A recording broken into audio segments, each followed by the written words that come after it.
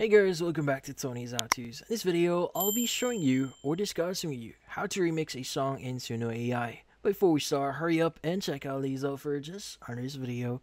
Let's get started. So you might be wondering how to exactly remix a song here in Suno AI. Now, just to give you some idea here, before if you were using Suno AI, uh, remixing is kind of hard because that feature was still not present in uh, Suno AI. But right now, with the recent updates, remixing has been added. So how do you use it? So first things first is you want to go to suno.com here, just log in into your account, and you want to look for the song that you may want to remix. So there are going to be a lot of songs here. So for example, we have this song here. Let's go and click on the three dotted up icon that you see at the bottom right of that song, and you just need to choose the option here that says remix.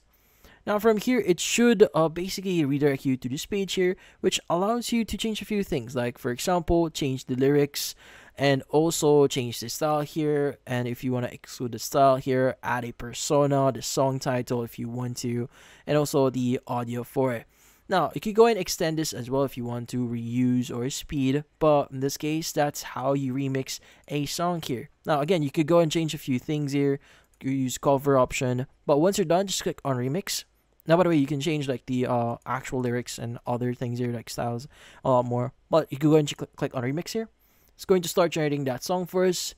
And in this case, that's about it. So if you found this video helpful, hit the like and subscribe button and watch our next video.